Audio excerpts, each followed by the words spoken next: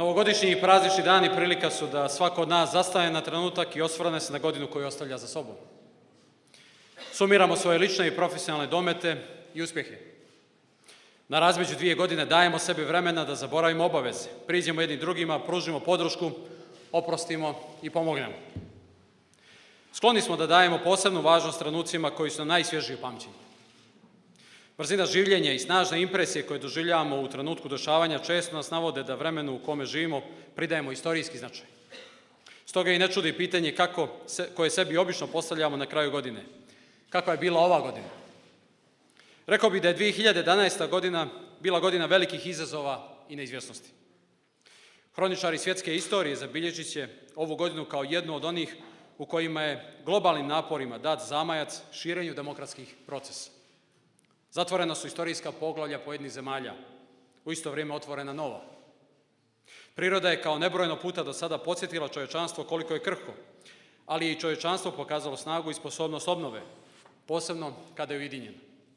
Politika je nastavila da se poigrava sa ekonomijom, a ekonomija pokazala da je preduslov jakoj politici. Za Crnu Goru 2011. godina bila je složena za veliki broj njenih građana. Ekonomsko-socijalni izazovi su brojni. Istrajnost i posvećenost svih je nužna da bi prevazišli izazove i zabilježili zavidne učinke na brojnim poljima.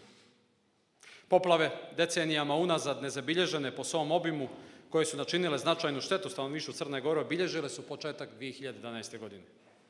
Ponosan sam što smo u tim trenucima pokazali i dokazali da smo zajedno jači, da je ljudska solidarnost temeljna odrednica crnogorskog društva i da smo ojačani sa znanjem da imamo partnere i prijatelje van granica naše države na koje se možemo osloniti. Lično smatram da je ovo godina bila prepuna izazova, saznanja, ali ipak sa puno više ohrabrenja za budućnost, a manje razočarenja. Mandat sam započeo otvaranjem dijaloga sa svim strukturama društva. Odlučan da afirmišem koheziju različitosti koja Crnogoru čini bogatim društvom.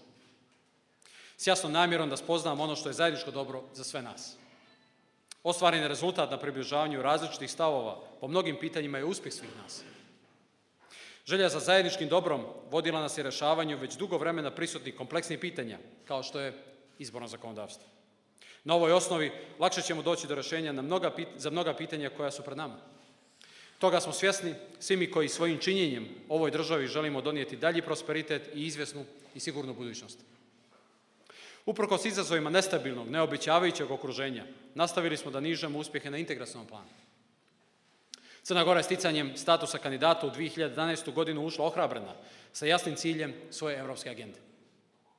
Imamo privilegiju da nedanom odlukom o otvaranju pregovora Crne Gore sa Europskom unijom juna naredne godine svi zajedno budemo svjedoci priznanja za uloženi i istrajni rad. Ostvarenju cilja koji je pred nama dat je dodatni entuzijazam i snaga. Zasluženo smo ušli u okrilje Svjetske trgovinske organizacije. Održali smo kvalitet sprovedenih reformi u oblasti bezbjednosti i tempo ka članstvu u alijansi.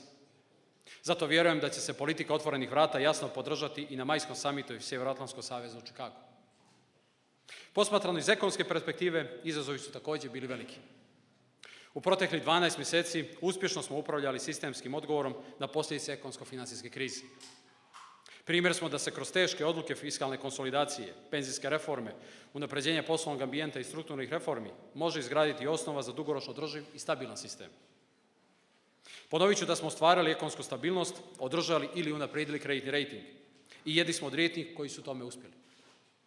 Uzoni smo kriterijuma iz Maastrichta za razliku od većine zemalja članica Europske unije. Istovremeno afirmisali smo principe socijalnog dijaloga, jer je socijalna stabilnost ugaoni kamen stvaranja razvojnih pretpostavki.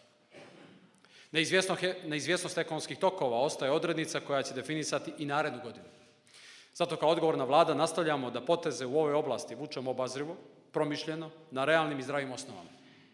Iz tog razloga obazrivost u obećanjima ne znači nedostatak ambicije i posvećenosti. Vlada rešavanju problema, već uvažavanje realnosti i neizvjesnosti koje ona nosi. Dami i gospodo, novogodišnji i praznični dani prilika su da zaboravimo nakratko na sve izazovi i teškoće godine za nama.